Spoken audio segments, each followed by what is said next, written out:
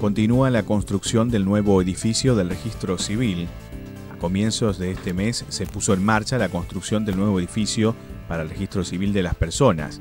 El mismo se encuentra ubicado frente a la Unidad Regional Sexta y el Anfiteatro Salvador Sena. Recordemos que actualmente el registro civil funciona en una vivienda del barrio Constituyentes de nuestra ciudad, cuyo espacio físico ha colapsado con el cúmulo de documentaciones tramitadas por los ciudadanos ituzengueños.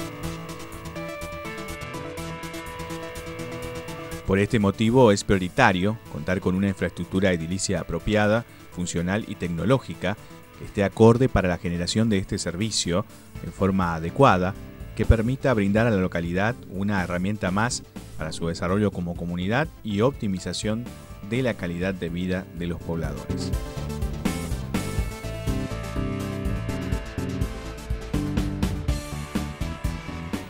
El nuevo edificio tendrá una apertura hacia la luz natural en el techo para dar al entorno una buena iluminación y contará además con las siguientes comodidades.